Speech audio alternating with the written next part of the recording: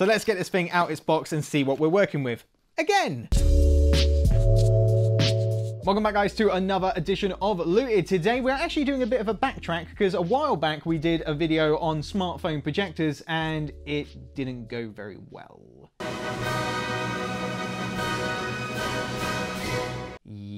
The people in the comments didn't really like us very much. So in an attempt to recover people's faith in this channel, which I'm pretty sure they didn't have anyway, we're going to check out, once again, the Deeply projector. Or is it projector by Deeply?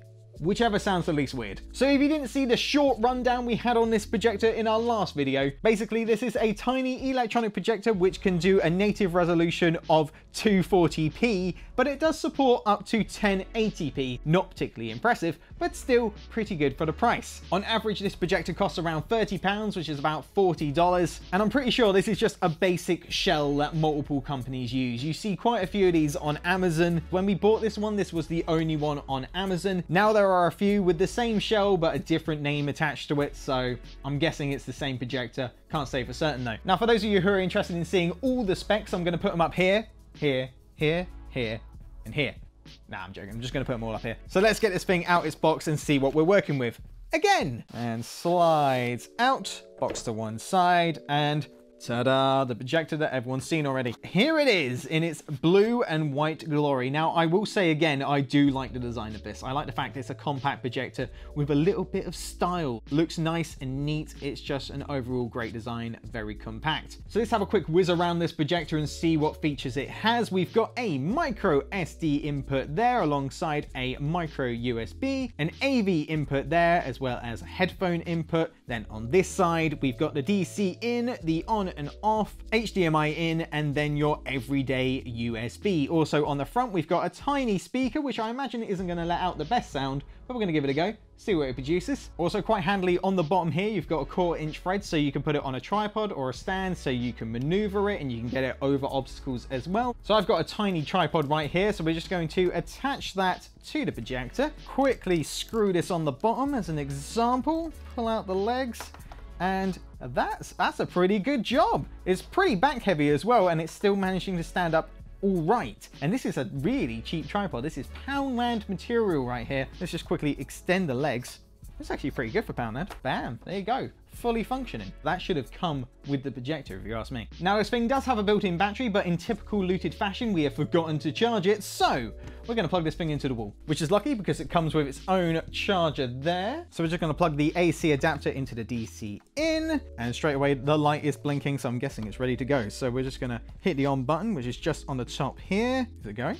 Don't think it's hey, there it is. So we've got the projector going nice and basic. And as you can see already, it's actually not that bad when it comes to brightness. I mean, this light is stupidly bright and still I can see it on the table. It's not in focus, but I can see something which is better than any other projector I have ever tried. But admittedly, I have only tried tatty, crappy very bad projectors. Now the fan on this tiny projector isn't exactly subtle. You can hear it from quite far off. I'm not sure that even the speaker built in on this would be enough to cover up the humming. But obviously if you're not getting enough volume from the built-in speaker, you can always plug in headphones or your own speakers via the headphone port at the back. So as I said, this thing has multiple inputs, so you can get loads of devices working on this thing. With the HDMI, you can get basically anything with a HDMI out, so that includes some tablets, game consoles, PCs. You can even use older consoles like the PS2 and the N 64 via the AV cable slot there. And luckily it even provides an AV cable adapter there, so it makes it even easier for you to set that stuff up. But the main thing I really want to get working is this as a smartphone projector. If anything, that's gonna be the most handy thing for me. It would be great just to have a tiny projector which I can take out wherever I am, hook up my smartphone to it,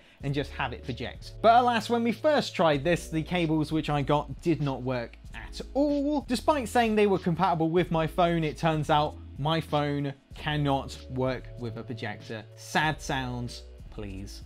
Fuck you, Samsung. That's the one. But other phones and tablets can connect up to this fine with just a HDMI adapter wire. So if you're using like an iPhone or anything along those lines, you can connect this thing up easy and get it working straight away. But unfortunately for me, I have the Samsung Galaxy S7, which is a little bit harder to set up and anything beyond the Samsung Galaxy S5, I believe, is hard to set up with a projector. So what I've had to do is go out and purchase a Chromecast, which was so nicely suggested to us in the comment sections. So, so nicely.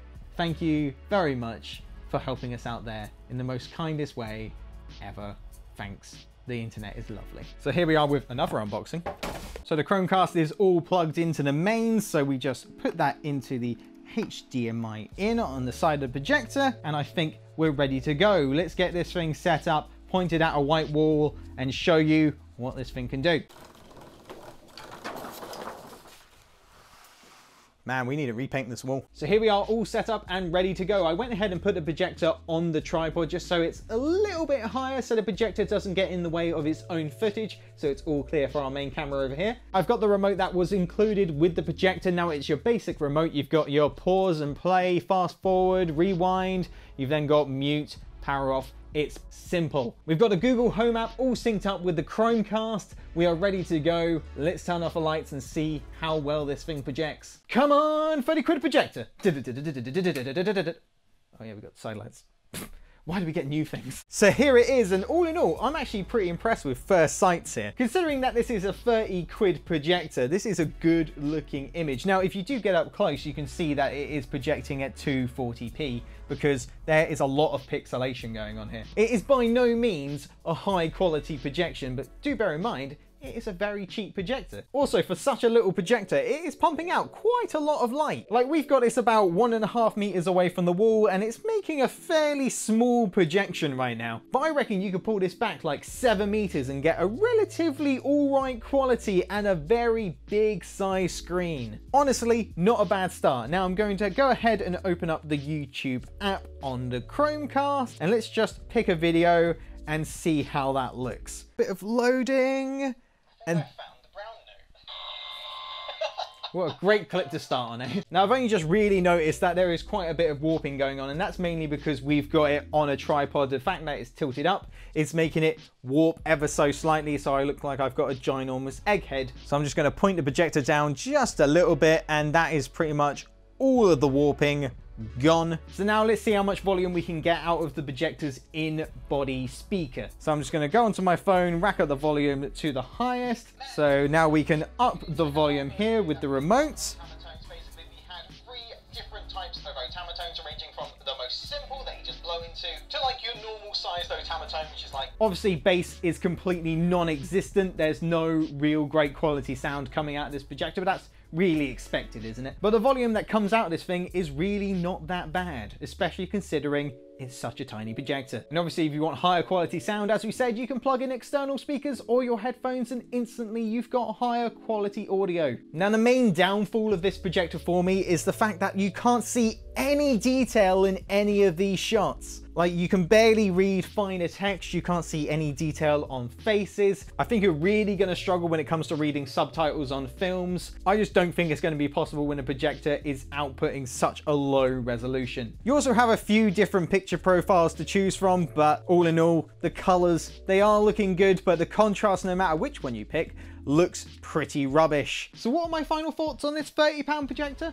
It's not bad. Honestly, you could do a lot worse than this little guy, that's for sure. Especially if you're just getting into this sort of tech and you just want to get something small to test out devices on, this is perfect. You can easily have this in a kid's bedroom, you can have it in your living room, you can have it in your office, it can literally be anywhere and completely 100% usable. If you're looking for a high quality projector which you can project in full HD, has great color, contrast, you can see all the detail you want, you're not going to get that here. And let's be honest, for the price point, you're going to be aware of that, aren't you? And with that, I think that's going to be it for another edition of LOOTd. If you like this video, hit like. If you really like it, hit subscribe. We've got more videos on the way. And feel free to leave a comment down below. Tell us what you thought of the video. We'll see you guys in the next one. Have a good one.